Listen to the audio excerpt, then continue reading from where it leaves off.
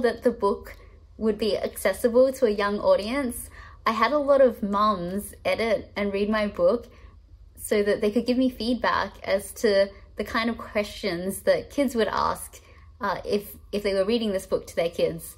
Um, and they gave really insightful comments.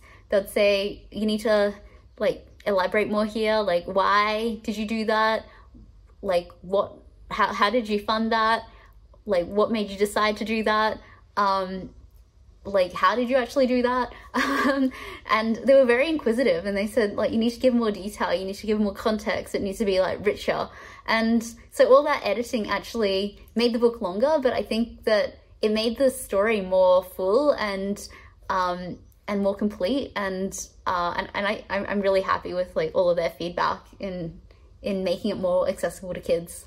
The other thing that mom said is some of the vocab I use sometimes was maybe a bit too complex.